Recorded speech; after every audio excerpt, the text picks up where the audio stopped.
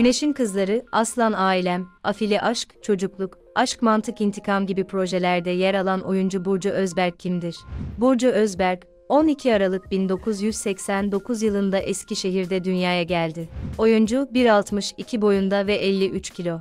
Hacettepe Üniversitesi Ankara Devlet Konservatuvarı Tiyatro Bölümü mezunu olan Özberk, ilk ekran deneyimini 2013 yılında Muhteşem Yüzyılda oynayarak kazandı. Dizide Huri Cihan Sultan karakterine hayat verdi. 2015-2016 yıllarında ekranlara gelen Güneşin Kızları adlı dizide Emre Kınay, Evrim Alasya, Tolga Sarıtaş, Hande Erçel gibi isimlerle rol aldı.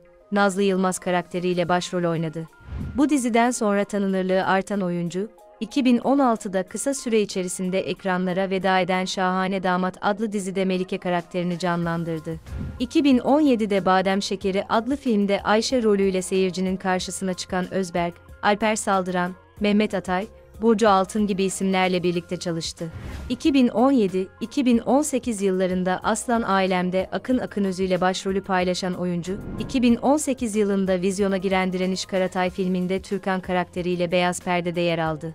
Sonraki yıllarda Çağlar Ertuğrul, Altan Erkekli gibi oyuncularla Afili Aşk'ta yer alan oyuncu, Yayın Hayatı Kısa Süren Çocukluk adlı dizide ise Erdal Beşikçioğlu, Beren Gökyıldız gibi isimlerle birlikte rol aldı. Şimdilerde ekranlara gelen Aşk Mantık İntikam adlı dizide Leyla karakterine hayat veren Özberke dizide İlhan Şen ve Burak Yörük eşlik ediyor. Aşk Aptalı, Küçük Burjuvalar, Macbeth Abla, Kuş Bakışı Kabare gibi birçok farklı tiyatro oyununda da yer alan oyuncu, Türkiye Gençlik Ödülleri, Ayaklı Gazete Ödül Töreni, Altın Kelebek Ödülleri gibi birçok farklı ödül organizasyonunda en iyi kadın ve en iyi romantik komedi kadın oyuncu gibi dallarda ödül aldı.